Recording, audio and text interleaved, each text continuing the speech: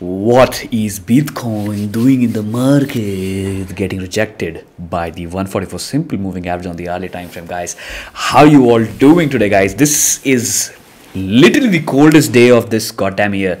It's just been, I think, yeah, it's been 25 days since this year literally started. But guys, it's fucking cold in fucking NCR today, man. Shit cold, guys. Holy crap. That's why my video is also blue today. I'm feeling blue.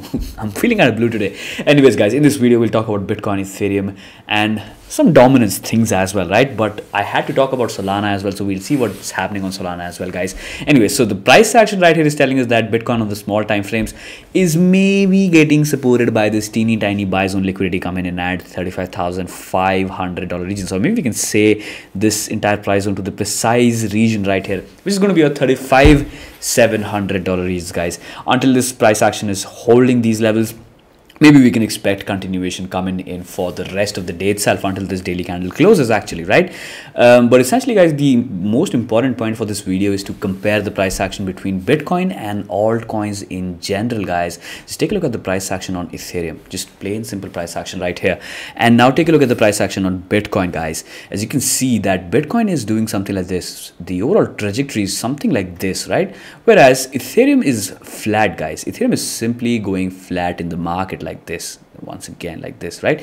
So you can see that the dominance has started picking up in the market which is why guys this kind of tells us that even if we are jumping into any altcoin trade in the market we have to be precisely focused on whatever bitcoin is doing guys. This is going to be clear cut clear cut indicator as to any price action movement happening on any altcoin. Remember guys whenever there's a rush towards safety like these environments right here where people are simply jumping into assets that are down maybe just 50% not 90% or something like that. That is when you have to put your entire focus into bitcoin first then you have to look forward to any altcoin for any bullish trade or bearish trade in the market right? As you can see guys the dominance has started picking up which is why our focus towards uh, our, our simple focus should be mostly towards the price action on bitcoin at first. Okay guys one more thing one more quite important point to be made right here is the fact that we are in a downtrend right? I mean i mean no fucking shit right here but yeah. So in any downtrending market all the bullish trades are supposed to be scalps. Remember, guys, in a downtrending market, all the bullish trades are scalp trades, right? Whereas in an uptrending market, all the bearish trades are scalp trades, guys. I hope you got that. I hope you simply got that. In an uptrending market, all the down moves are your scalp trades. In a downtrending market, all the up moves are your scalping trades, guys. So my point being, don't fucking get married to your positions if you take this right here, right now. Don't get married to any long exposure in the market, guys. Just, just don't do that, right? Just, just. This is a financial advice. Yes, this is a fucking financial advice. Do not get married to your positions in the market. Just play this game like a fucking trader, guys. Okay, um, I think we don't have much to talk about on the price action, on any any price action for that matter, guys. So Ethereum right here, until we are below $2,500 regions, no bullish trade is supposed to be made. Once we get rid of this price action to the upside, yes maybe we're going to be targeting 350 simple guys. We're going to be targeting 350 simple which is at $3000 flat.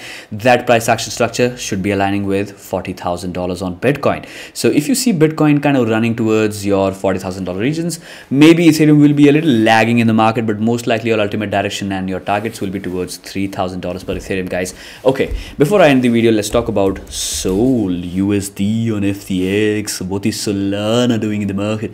Probably getting wrecked. Yes it's probably getting wrecked it, it is getting that guys. Holy fucking shit. I just made a complete comprehensive video on solana's price action against bitcoin against ethereum. And the reason why i'm rambling right now is because my charts are taking some time to load up. So please bear with me guys. Please be fucking patient. I am being patient with my internet right here. It's just fucking pain in the ass man. Holy freaking crap. Where are all those private companies when you need them? Otherwise all throughout the day i'm going to be getting all of those telecommunication advertisements on my phone.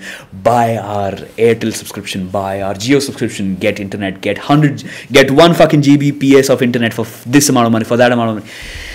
In my current location not even fucking airtel can get their foot wet guys. It's just well guess it's just Indian talks to be honest with you. Anyways, guys, back into Solana's price action right here. Similar story until you're above this price point right here. Maybe you're going to be attempting little teeny tiny movement all the way towards $100 regions, guys. It's going to be a flat target and maybe a 5% range to work out on, right? Or a 10% range to work out on from these current price points.